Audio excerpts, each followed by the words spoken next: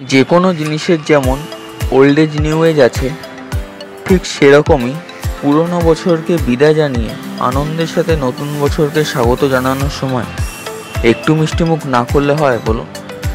আর কথাতেই আছে, বাঙালির বারো মাসে তেরো পার্বণ।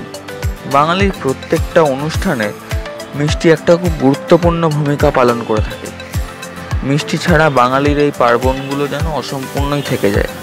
তাই যে কোনো শুভ অনুষ্ঠানে বাঙালিকে মিষ্টিমুখ করতেই হয়।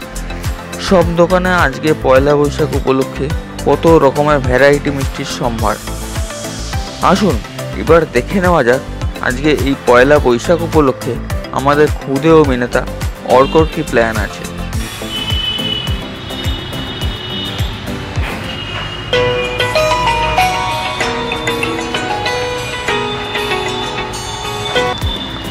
হ্যালো। হ্যাঁ সমন আঙ্কেল ভালো আছেন? হ্যাঁ বাপিদা আমাকে বলেছেন হ্যাঁ মায়ের সাথে আমি সন্ধ্যাবেলা যাব। বাবা যদি অফিস থেকে তখন চলে আসে, তখন বাবাকেও তাহলে নিয়ে যাব।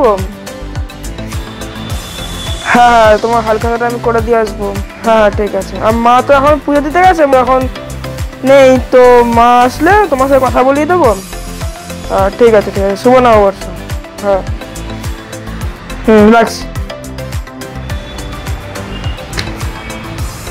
নমস্কার। আপনারা সবাই সবাইকে জানাই শুভ নববর্ষ, তৃতীয় অভিনন্দন।